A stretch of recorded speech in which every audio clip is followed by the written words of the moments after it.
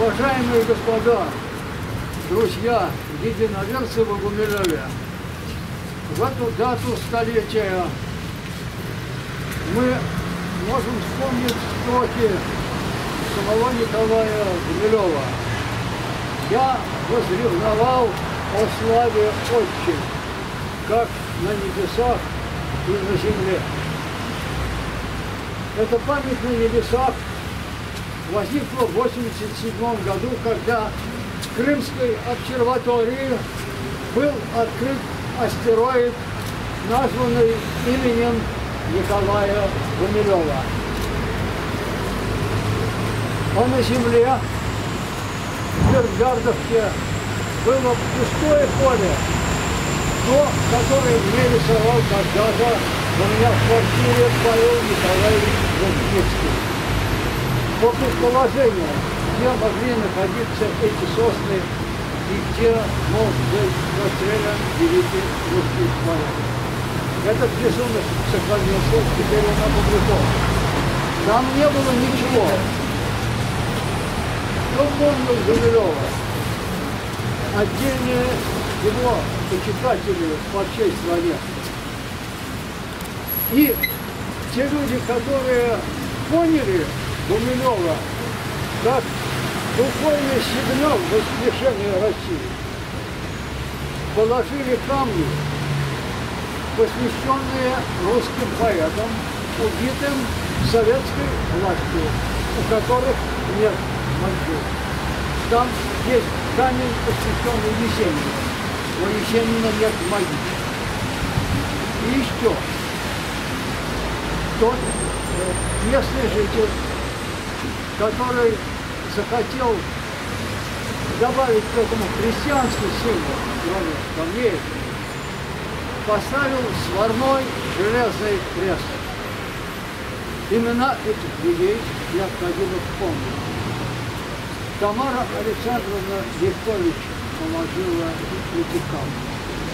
Ее дочь Наталья Николаевна Светами стоит здесь, и в этом храме. Вот она. Покажите.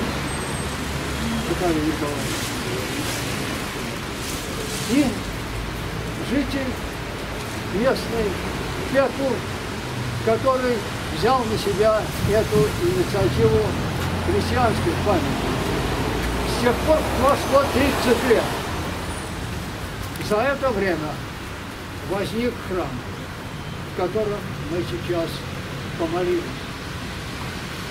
Пять лет тому назад, в 16 году, был открыт этот памятник. Это произошло благодаря инициативе Сергея Михайловича Симонюкова. Это не преемники социалистического государства. Это инициаторы, которые понимали, что именем Гумилева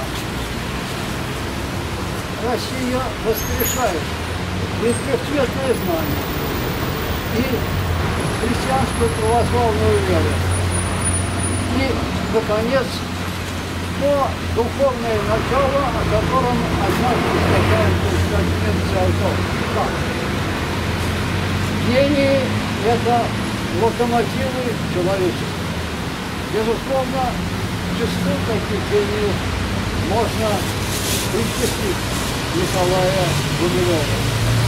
И вот теперь столетие этого преступления расстрела Петроградской боевой организации не 96 человек, а по теперешним документальным свидетельствам 104 человек. Вот, мы в день этого столетия, этого преступления века встретились здесь у этого заново возникшего храма. Кто не помнит, на каком месте он возник, я напомню. Это бывшее место Советского коммунистического театра, кинотеатра, точнее, Октябрь. Вот место октября, церковь.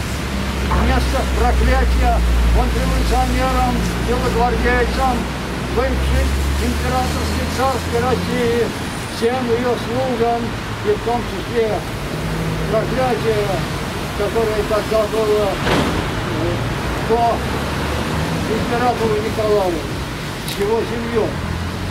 Вместо этого мы, возрожденной России, сегодня имеем честь вспомнить великого русского поэта, помолиться о нем, тех, которых с нами нет.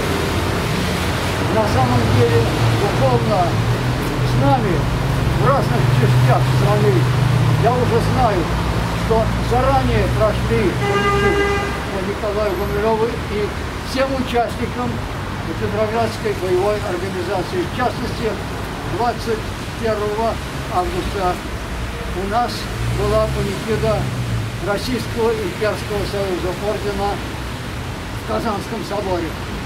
А именно Российский имперский союз орден начинал здесь 30 лет назад, на этом пустом месте, и мы провели самую первую панихиду всеволодским священникам. Мы приходили сюда с русским флагом, имперским флагом, желтый квадрат, черный орел на триколоре и стандартом Имперского союза ордена. Вот так это начиналось. Всех вас, видящих, видящих здесь, э, этот сегодняшний день, я не сомневаюсь, он заставит это запомнить навсегда. Это столетие российское, столетие, та самая история, которая на самом деле проклята Богом. И вот на месте этого бывшего советского кинотеатра «Октябрь» мы здесь находимся. В течение этих лет Имперский союз, дворянское собрание, представитель которого здесь Юрий Юрьевич Добровольский, пожалуйста, покажитесь, да, из года в год проводили эти панихиды и эти встречи все те, которых уже нет живых, нет сомнения, православные христиане сегодня с нами.